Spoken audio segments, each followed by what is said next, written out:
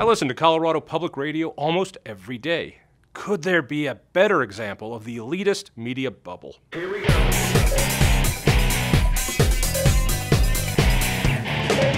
I really like the crew at CPR. They're good, earnest folks, but I could do without their constantly self congratulating promos that tell us they're working hard to bring us all sides of the story.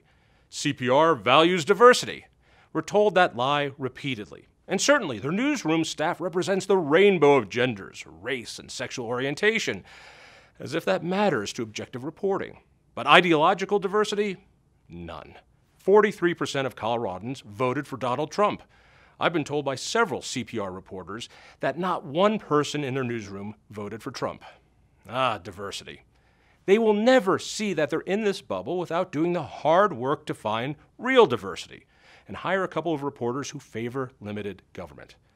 Given that they could always find the perfect left handed, transsexual, vegan, Native American, at risk, homeless poet dedicated to fighting climate change to interview, they can find a fiscal libertarian reporter to hire. Unless they're intolerant,